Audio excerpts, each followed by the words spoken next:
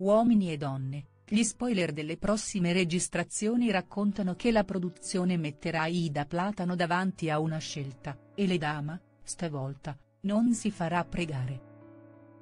Nelle ultime settimane si è parlato molto del suo percorso all'interno del programma. Da una parte Pierpaolo, dall'altra Mario, in mezzo tante segnalazioni pesanti. Alessandro Rosica aveva rivelato di come Mario fosse stato avvistato in compagnia di altre donne, lui è talmente innamorato che qualche settimana fa è uscito con tante ragazze e le ha contattate su Instagram.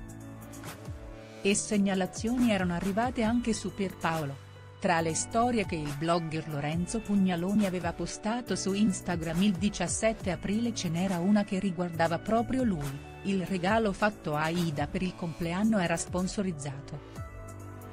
Le nostre box, scrive il negozio di fiori, sono arrivate a uomini e donne grazie a Pierpaolo che si è affidato dei nostri consigli per stupire la sua bella Ida. Abbastanza per scatenare il pubblico, è la prova che cercavamo, Pierpaolo è lì solo per le telecamere, fuori anche lui.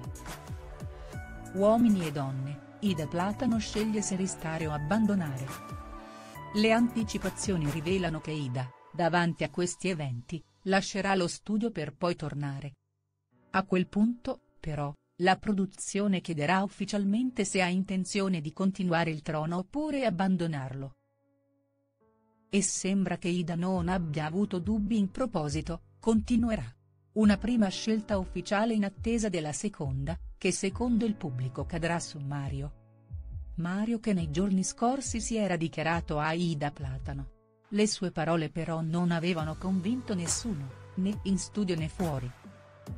Particolarmente caustica era stata Tina Cipollari, non puoi credere ad uno che è scappato dallo studio e poi rientra e, ridendo sotto i baffi, ha detto mi sono innamorato di te giocandosi questa frase ad effetto. Ida ti prego, non sa cosa inventarsi. Parole riprese anche da Gianni Sperti, la frase è eccessiva visto quello che c'è tra di voi. Una strigliata Mario di Uomini e Donne se l'è beccata anche da Gemma Galgani e Barbara De Santi. Pierpaolo invece ha ironizzato, Maria, guardandoti negli occhi, ti dico che sono innamorato di te.